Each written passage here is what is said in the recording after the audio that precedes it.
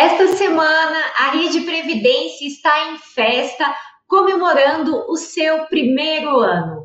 O meu nome é Karen Jobim, sou especialista em direito previdenciário, advogo por paixão, escolhi a Previdência porque, para mim, é a área mais altruísta do direito, onde eu posso, além de exercer o meu trabalho, também ajudar as outras pessoas.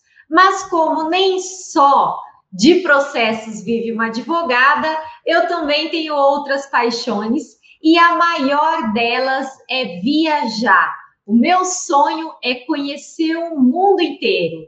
E onde eu encontro o meu equilíbrio é aqui nas aulas de yoga.